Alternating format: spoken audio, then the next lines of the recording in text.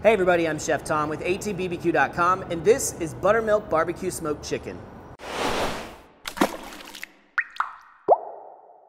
Well, I think the secret's out. Buttermilk soaked fried chicken is about as good as fried chicken gets. You see what happens when that chicken's soaking in the buttermilk is the cell walls start to open up, suck in the moisture, and it really tenderizes the meat. But there's no reason why fried chicken should get to have all of the fun. So today we're gonna be smoking up some buttermilk soaked barbecue chicken on the Yoder Smokers Loaded Wichita Offset Smoker. Now I've got a bucket of chicken that's been soaking in buttermilk overnight so that we can get started on our smoke today. And we're gonna walk through that process here shortly. But the first thing I wanna do is get the smoker fired up. We need to get our charcoal going. So I'm gonna start a chimney of lump charcoal here in the firebox, and this is gonna be the base of our fire.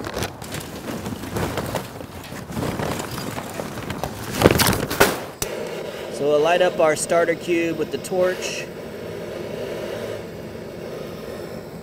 And we'll just let that get going. So now we're gonna jump into making that buttermilk brine, which is really a combination of a brine and a marinade when you consider that we're using both salt and acid to break down the chicken.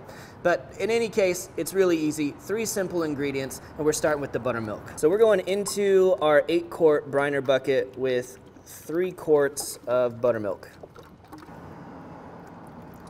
Next we have our dry brine mixture. This is the Butcher House brine from Cattleman's Grill. So of course we've got salt, we've got a little bit of brown sugar, we've got garlic and onion and some other spices in there. This is just a great versatile base for a brine.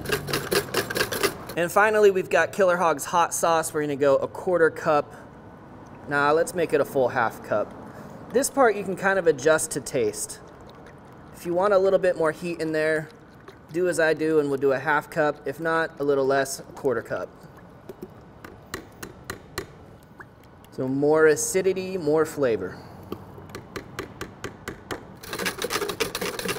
And that's it. We're just gonna whisk this to start to dissolve the dry brine mixture. And then we're gonna break down our chicken and get it in here. Now we're gonna be cooking up two chickens worth of chicken pieces today. And I'm gonna show you how I broke those chickens down. We're gonna start by spatchcocking the bird, just removing the backbone with a nice strong pair of shears. So come down one side up to the top of the neck, and we'll go back down the other side. And then when I get to this little joint bone here on the thigh, I usually will just pop that out and it tells you right where that joint is. It makes it a little bit easier to cut around it. So that allows us to kind of splay this thing open. I'm gonna get rid of these bones, we don't need them.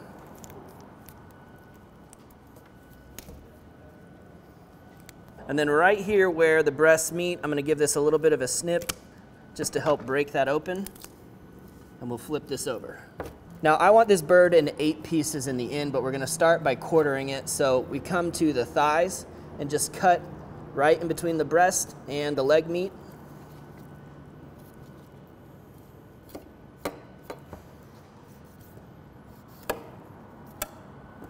We'll do the same thing on this side. You can kind of let gravity do the work for you if you like. Separates really easy. And then you can either leave these quarters whole, or if you're going for eight pieces, we'll cut right in between the leg and the thigh, pop that, and cut right behind the bone. So now you've got your thigh, your leg, and another leg, and another thigh. Go ahead and drop those in. Now the breasts we're gonna leave bone in today. So I'm gonna start by cutting straight in between the two breasts and you're gonna hit that breastbone. So a little bit of pressure on it to pop through the breastbone. And now you've got your breasts and your wings separated. And instead of pulling off the wings, what we're gonna do today is we're gonna take the top portion of the breast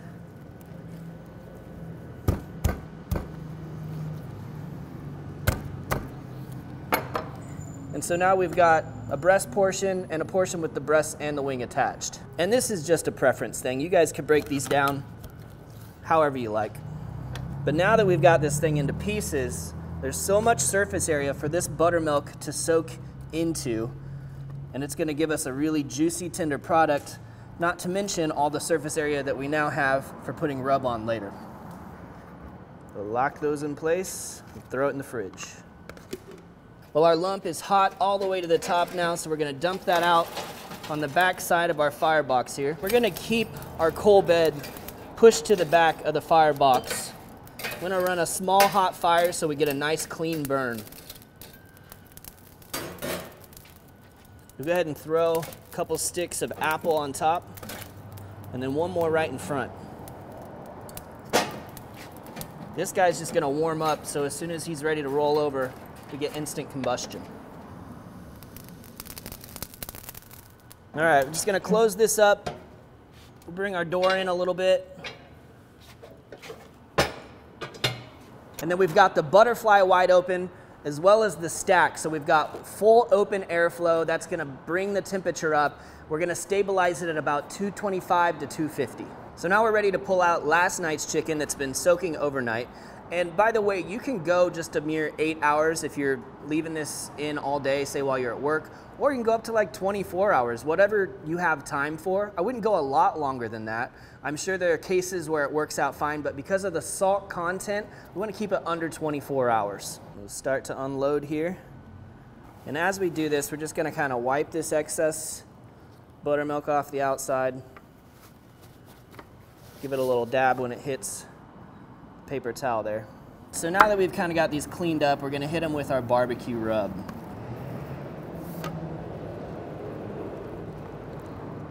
Piece by piece here, we're just gonna give them a nice coating of the Meat Church, the Gospel Rub.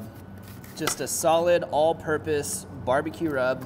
It's got your sweet, it's got your salt, it's got great paprika color in it. Just an all-around great all-purpose seasoning, especially when it comes to barbecue.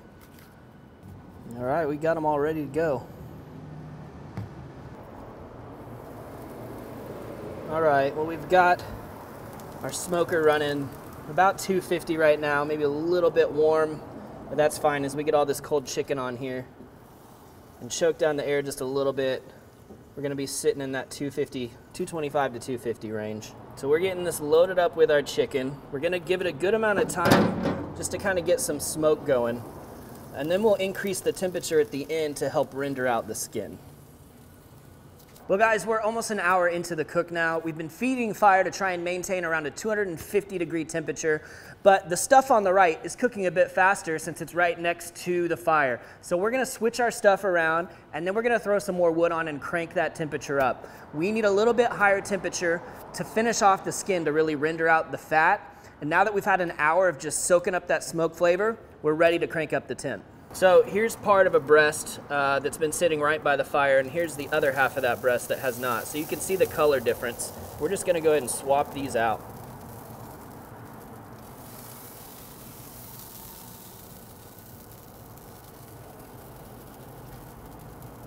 All right, so we're gonna go two pieces of wood over on the fire now to crank up the temp. Open up this airflow just a little bit as well.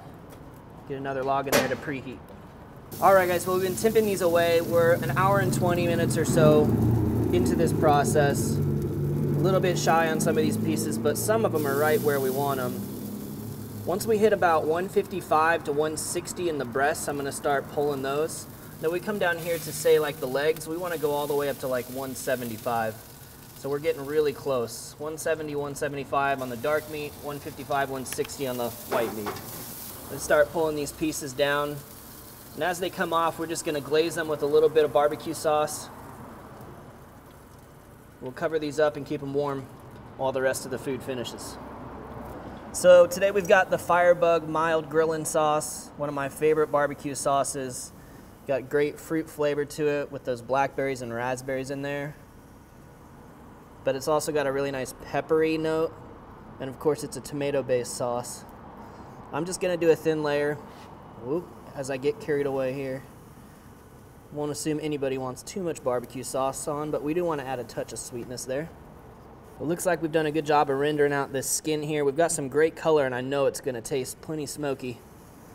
So we got this cooked done in about an hour and a half today, but I don't want you guys to be glued to a timeline when you're cooking, ever. But especially today, when you think about all the different kind of cookers that we use. If we did this on a pellet grill, it would take longer.